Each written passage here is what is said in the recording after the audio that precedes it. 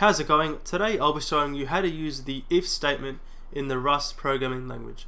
So basically if statements allow you to execute certain bits of code based on a condition. So for example, if we define a number called n and set it to 20. Now, if we go down here and we want to actually print out a message if the number is less than 30, we can. Like this. We'll type in if n is less than 30, then two curly braces. So this basically just says if n, so the value at n, is less than 30, then execute everything inside here. So now we can type in something like print line and say the number is less than 30. We'll try and run this and see what happens. Alright, we get the number is less than 30. That's what we want. Now back to the program. If we change the number from 20 to, for example, 45, and try it again, we shouldn't get a message. We get nothing.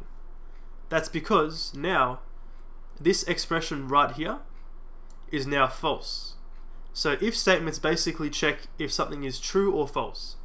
So now that n is equal to 45, this is no longer true, so this doesn't execute. We can also check if n equals 45 by using a double equals sign. So double equals means to compare. So make sure in your if statements you're using double equals instead of a single equals. So now if we type in 45 here, we're saying if n equals 45, then we'll just print out rust for example, try this one, we should see rust. And there we are.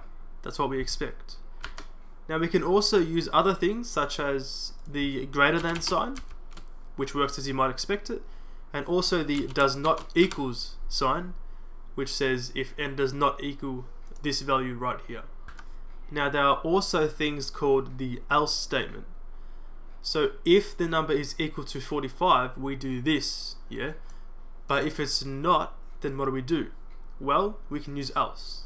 So we can type in else. Now everything inside here will execute when this is not true.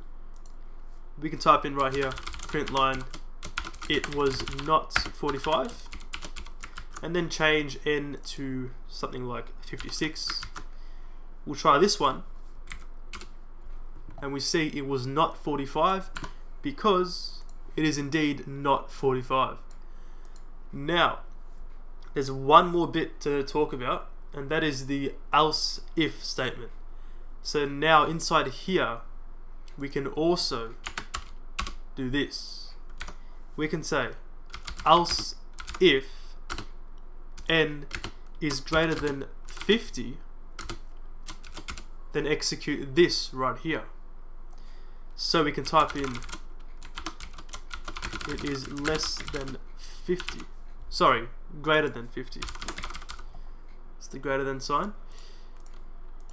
Now we can try this one and we should see it is greater than 50. So basically it checks if n is equal to 45. If it's not, then it checks if n is greater than 50. And if that is also not true, then it just says it was not 45 and it was less than 50. So now we'll run this one and we should see it is greater than 50. But if we change it back to, I don't know, 20, we should see the last one. Hold on. There we go. It was not 45 and it was less than 50. So that is basically how if statements work in Rust. Uh, they work similar to other languages, um, but there is one thing that is different, and that is that there's no need for parentheses. So if we put parentheses around here and we try and run this, the Rust compiler actually says to us it's unnecessary to use parentheses around the if condition. So you can do it, but it's not required. And that's basically it for if statements in Rust. Thank you guys for watching. See you later.